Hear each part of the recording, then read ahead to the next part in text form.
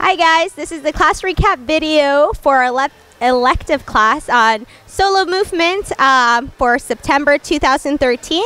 Um, we did a lot of dancing and then broke down a couple of moves. Uh, so today we went over Susie Q, which I'll, I'll do the moves from the back. So it's gonna go um, eight, one, two, three, four, five, six, seven, eight, one, two, three, four, five, six, seven. So we're gonna kick eight, and it's just um, open, close, open, close. Same on the other side. Kick, open, close, open, close. So the back leg is the one moving out, and then closing in with the left leg. Um, we want to keep our foot down, not pointed up this way, but just flat on the ground when we do when we do those uh, Susie Q's. Uh, we also did uh, scissor kicks. So we started out with um, just this motion, and then we went kick, step, step, step, kick, step, step, step. I'll do it this other way.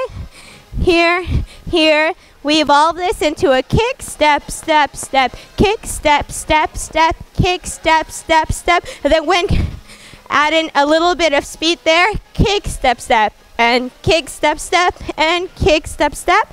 And then we put it all together and we went kick, step, step, kick, step, step. Ha.